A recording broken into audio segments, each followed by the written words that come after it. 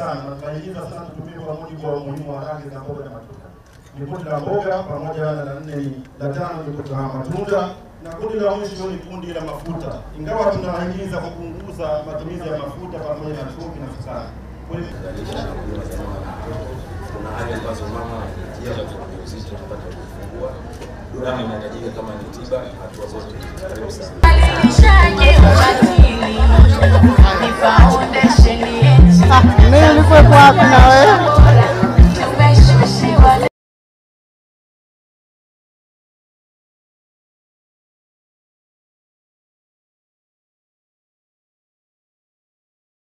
na aweze kuongea machache na kumkaribisha mheshimiwa rasmi. Karibu mheshimiwa mkuu.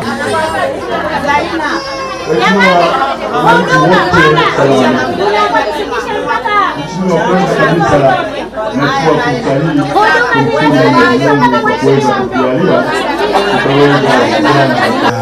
Kaskazini A wakati tunapambana na COVID uh, tulikuwa kwenye asilimia 35 akaturusha mpaka asilimia 95. Nafikiri mnakumbuka wadau Picha ya tatu ni wadau wa mradi WFP, viongozi wa Maisha Bora Foundation pamoja na Benjamin Mkapa. Picha ya nne ni wizara ya afya ambayo itaungana na mheshimiwa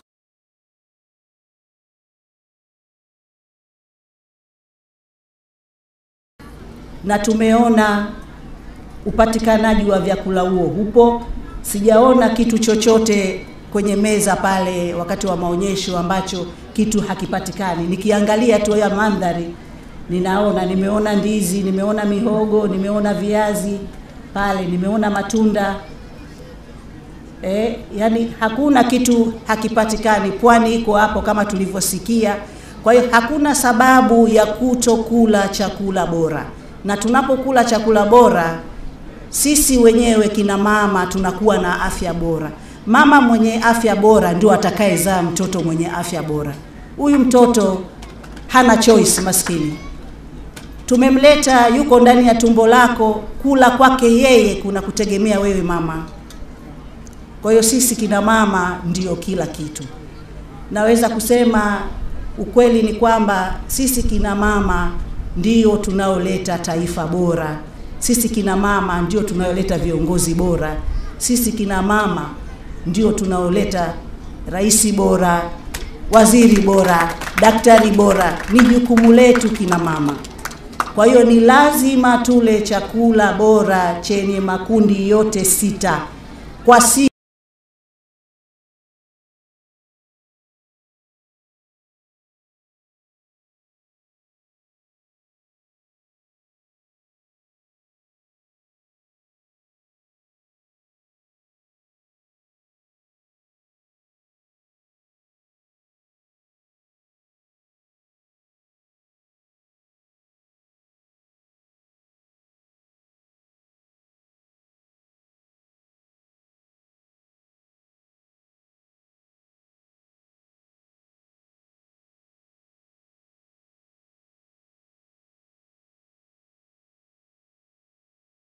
Nitoe wito kwa Wizara ya Afya kuandaa kuandaa mpango rasmi wa utekelezaji wa siku ya lishe na afya ya kijiji na utekelezaji wa afua za lishe ili ziweze kuwa endelevu.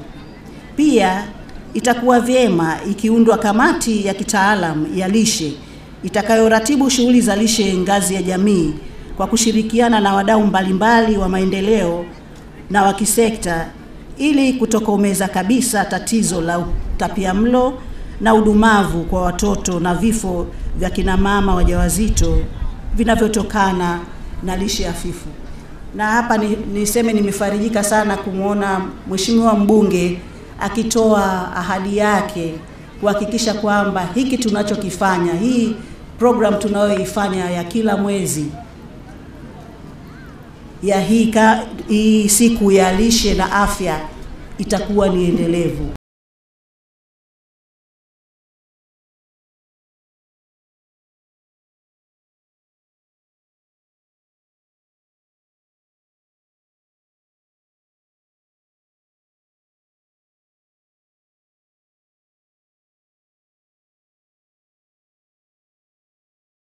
na jambo linaitwa lishe bora. Ni ajabu kubwa kuona tupo Donge, tumezungukwa na mishelisheli, bahari haiko mbali, lakini mwanamama anakwenda hospitali anaambiwa hana damu, wakati ukipiga shelisheli lako asubuhi ukapia na dagaa dogodogo kwa tungule za kishamba, haiwezekani mke wako ende hospitali aambiwe hana damu. Ukaamka usubuhi ukapika uji wako wa sembe ukautia na siagi kidogo ukaubanjia na yai la kuku kishamba, itakuwaje mwanamama huyo aende hospitali aambiwe hana damu?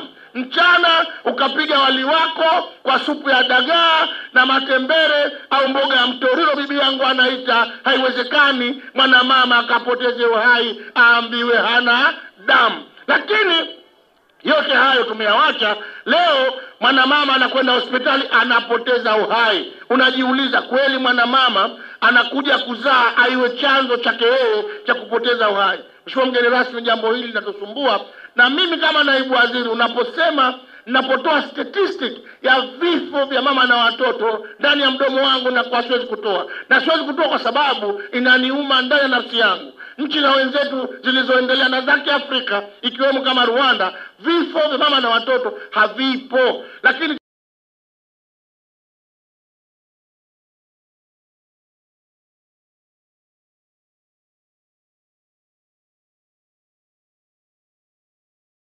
na jengine zaidi kuchagua mkoa wa Kaskazini, Unguja na Pemba kufanya afua hizi. Kwa kweli tafiti zinaonyesha kwanza, asilimia arobaini na saba ya wanawake ambao wapo katika time ya kutaka kuzaa wana lishe duni, na hiyo lishe duni ndo sasa wanakuwa na watu hawana damu ya kutosha.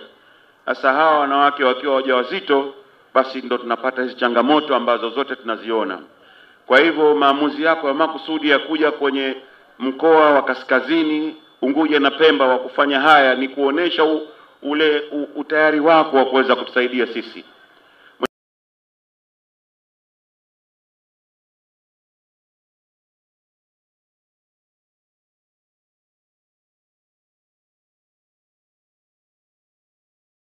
Siku ya afya ya lishe katika ngazi ya shehia hutayarishwa na serikali ya shehia kwa kushirikiana na wadau mbalimbali wa afya wa lishe uh, na kila mwezi wa afya na lishe kila mwezi na kujumuisha utoaji wa huduma mbalimbali za afya na lishe katika shehia husika.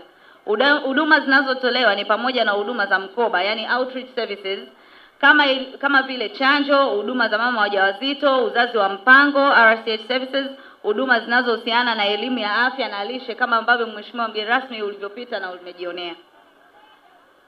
Lengo kuu la mradi huu, Mheshimiwa mgeni rasmi, ni kuimarisha huduma za afya za kijamii na utoaji wa usambazaji wa huduma endelevu za afya na lishe ya mama na mtoto na jamii kwa ujumla ambayo tumeeleka tumeyaweka katika malengo mahususi ambayo ikiwemo mojawapo kuongeza upatikanaji wa huduma jumuishi ya kinga na kuboresha huduma za mama na mtoto um, katika jamii, kuongeza ushirikiano kati ya jamii na viongozi katika kusaidia afya ya lishe ya mtoto chini ya umri wa miaka mitano pamoja na mama wajawazito, na tatu ni kuimarisha uhusiano kati ya jamii na vituo vya kutolea huduma za afya.